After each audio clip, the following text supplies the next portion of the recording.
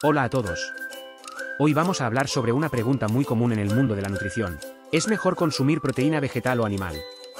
La proteína es un nutriente importante para el crecimiento y mantenimiento de nuestros músculos y órganos, y es esencial en nuestra dieta. Pero, ¿cuál es la mejor fuente de proteína para nuestro cuerpo?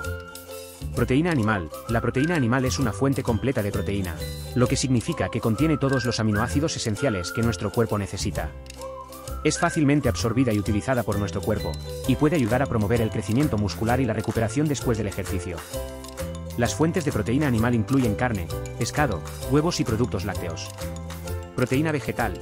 La proteína vegetal puede ser una opción saludable y sostenible para aquellos que prefieren no consumir productos de origen animal. Aunque las fuentes de proteína vegetal no son tan ricas en aminoácidos esenciales como las fuentes animales, pueden combinarse para crear una fuente completa de proteína.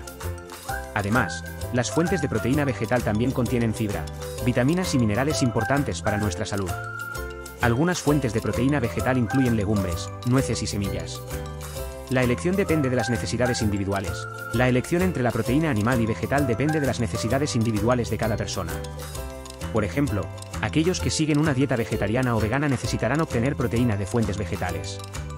Por otro lado, aquellos que realizan ejercicios intensos o necesitan recuperarse de una lesión pueden necesitar más proteína animal para satisfacer sus necesidades nutricionales.